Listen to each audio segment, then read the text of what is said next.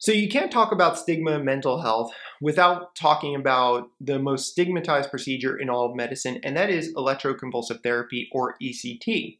Now, I personally provide ECT service on a weekly basis, and I've found myself at times hiding this fact from people. I don't necessarily like to always talk about it, and it got me thinking. Occasionally, I'll run into another health professional, say somebody not as familiar with psychiatry or mental health treatment, who will ask me, does this stuff really work? Isn't the procedure a little barbaric? Don't you think it's a little outdated? Eh, so even in the house of medicine, where other people are trained medical professionals, they're still skeptical and sometimes hold outdated ideas about the efficacy and safety of the procedure. Now, I always go back to the evidence. I think we need to go to the literature, and some people will argue with me that the literature is informed by uh, drug companies and whatever, et cetera, et cetera. Point is, in as a whole, when you look at the literature, it's the most evidence-based way to base your clinical practice. So I go back to the evidence and I look at my own clinical responses as well. How have people done that I've treated with this procedure? And it reminds me why it's essential that I continue to provide this life-saving treatment.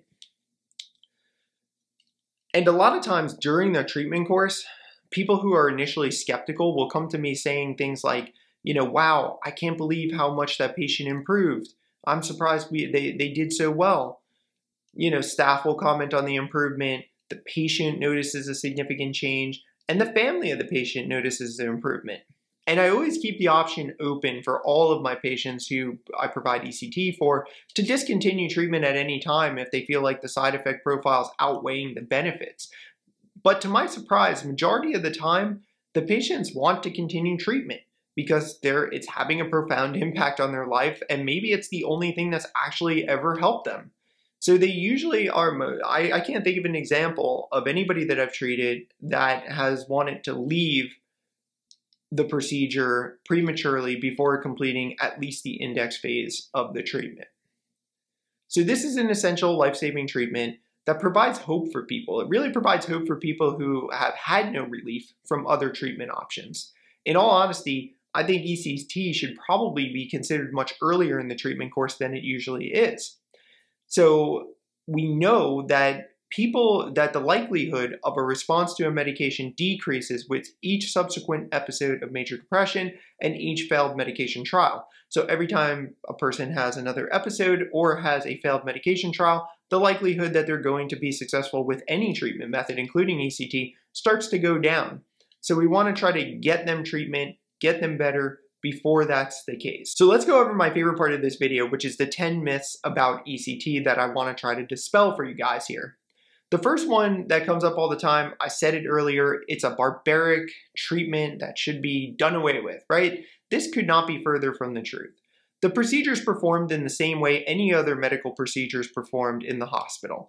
There's a team of highly trained professionals, including a psychiatrist, a nurse, and an anesthesiologist in a controlled setting where the patient's administered anesthesia so that they're not aware of any of the things that are going on during the procedure, as well as a muscle relaxant to prevent physical injury. And we also use other medications like Toradol to help with any pain that might occur after the procedure, headaches, etc. So it's not barbaric at all. It's performed in the same manner any other procedure in the hospital is performed with. Number two, it causes permanent brain damage. I can't tell you how many people have commented on my content here and said things like it causes permanent brain damage. Well, I can tell you I've researched the literature, I've looked at the studies. There's no evidence to support this claim, although it's often made by people. They've done the MRI studies, and these MRI studies have never demonstrated any evidence of structural changes to the brain that occur during or after treatment with ECT. On the contrary, there's actually evidence to demonstrate that ECT increases the size of certain brain structures. So it actually causes neurogenesis in many cases. And that's because it's increasing brain-derived neurotrophic factor, and it's also increasing neuroplasticity and helping the brain to form new, hopefully better connections. The third myth is it causes permanent memory loss. This is another one that gets commonly tossed out there. ECT can cause changes in anterograde and retrograde memory, so it can cause some impairment. However, in general, the anterograde amnesia only lasts days to weeks, and retrograde amnesia is much, much less common. Now, you can modify the ECT technique by placing the, the electrodes in a right unilateral placement, as well as using what they call ultra brief pulse, which reduces the risk of cognitive impairment. So there's ways to modify or tweak the procedure that also helps reduce the risk of memory problems. So number four, it's the last resort treatment. ECT is underutilized, and there's no reason to wait until someone has failed multiple medications and suffered with depression and potentially suicidal ideation for years before you go to this procedure. It can actually be used as a first line treatment for a patient who is looking for an extremely rapid response uh, and wants relief right away, and for anyone that's actively suicidal, anyone that's in a catatonic state, a patient that presents with psychotic depression, and those with severe depression that are not eating or attending to their ADLs. Number five, it only works for unipolar depression. Again, this could not be further from the truth. You can use ECT for bipolar depression. You can also use it for schizophrenia and schizoaffective disorder. It is commonly used for all of those things. Number six, it's simply not safe. It's not safe. So let's go over the rates, right? Let's go to the data and find out. So death from ECT is actually quite rare. The mortality rate is estimated to be 2.1 deaths per 100,000 treatments. So there's 2.1 deaths per 100,000 treatments. And you might say, Dr. Rossi, that sounds like a lot to me. I mean, that's 100,000 treatments and, you know, over two people end up dying from it.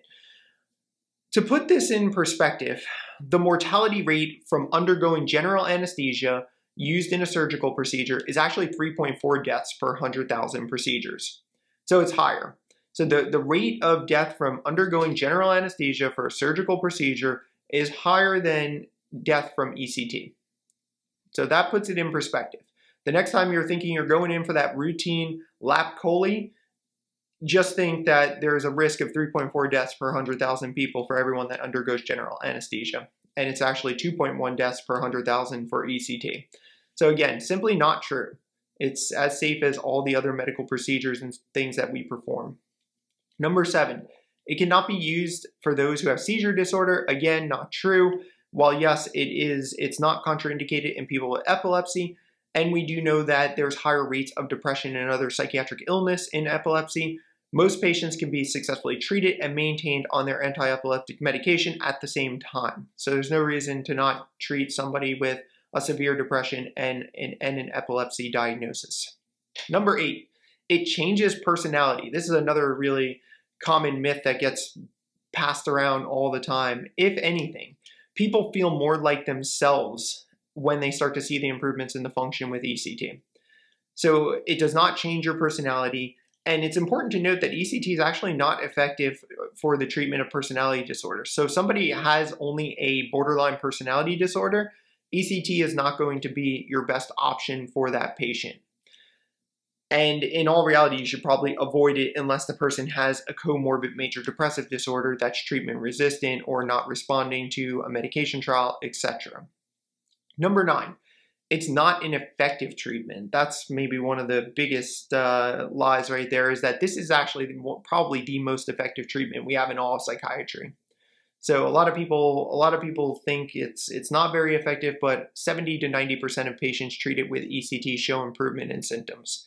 So majority of people, a vast majority of the people who receive ECT do very, very well, and many actually achieve remission. And number 10, the final one that I want to talk about here it takes a full 12 sessions to show improvement. This is not true. One of the big benefits of ECT is that it's a rapid onset of, uh, of symptom relief. People start to see benefits very early on, possibly even within the first few sessions, and for at least within the first week of treatment, most of my patients have had some improvement in their mood at that point. Obviously, it's a case by case basis, and in order to achieve full remission, they probably need to complete the entire index phase of treatment. And it's important to also note that while this is an excellent treatment that can help keep people well longer than possibly medication treatment, it is not a cure for depression, and there is always the possibility that another depressive episode could emerge at a later time.